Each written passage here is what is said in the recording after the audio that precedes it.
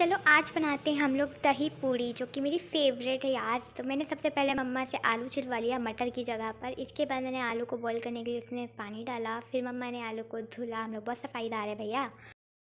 चल झूठा। फिर हमने इस आलू को बॉईल करना है तो उसके लिए हम लोगों ने उसको कुकर में डाल दिया उसको बॉईल करने के लिए और फिर चढ़ा दिया हमने। चढ़ाने के बाद हमने क्या करना है, हमें दही को बोल में डालना है, क्योंकि अब इसकी भी खालिस्तानी स्टार्ट करनी है ना, बहुत टेस्टी लगता है यार। फिर है ना, मैंने चीनी लेना है। चीनी को उसमें मिक्स कर देना है बहुत अच्छे से।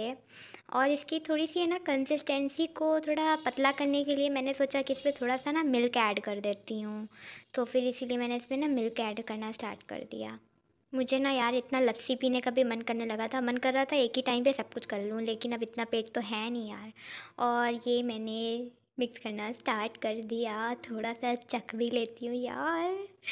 खैर अच्छा है। इसके बाद मेरे ऑयल में से स्टीम निकल रही है। आई मीन आलू में से।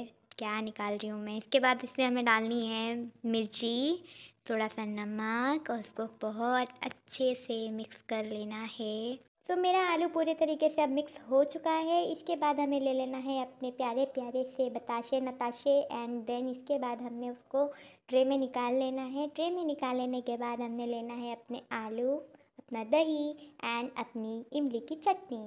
फिर बताशे लेने के बाद हमें उसमें आलू फिल करना है देन उसमें दही फिल करना है।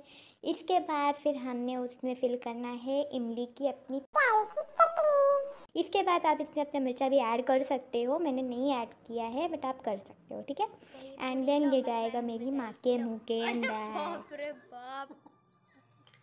पूरी जबानी दिखा दी तुमने तो। पूरी जबानी दिखा दी तुमने तो।